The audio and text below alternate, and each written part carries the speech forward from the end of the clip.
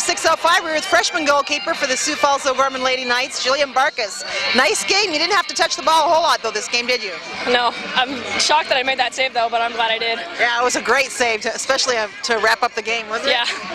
So now, last time we were came to watch you play, you had been hurt and were out with a concussion. How does it feel to be back in the games now? I'm so happy. I actually cleared pretty fast. I was a week. Yeah, you really did clear fast. We were all pretty happy about that. No, no long-term effects at all. No, I'm glad. And uh, you get, get between the pipes, it all goes away, right? Yeah. So, Julian, what's it like for you as a freshman playing the varsity keeper for your, your high school team? wow. So happy.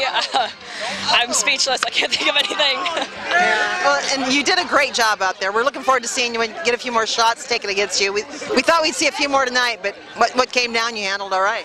Thank you.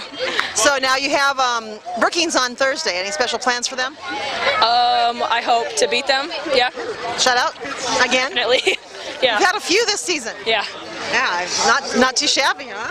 I have. I think my record is two shots on me, like two goals on me so far. Yeah, I knew it was pretty low. We haven't got all the stats compiled yet, but but I knew you hadn't had many shots taken on you. And as a freshman, that has to feel pretty good, doesn't it? yeah, it does. So how, where are you going to go from here, right? Stay on varsity. Yeah, stay on varsity, shut them out every game. Yeah. Well, Jillian, congratulations on that nice win, nice shutout tonight. Best of luck on Thursday and with, with your last two games of the season. Thank you. Thanks.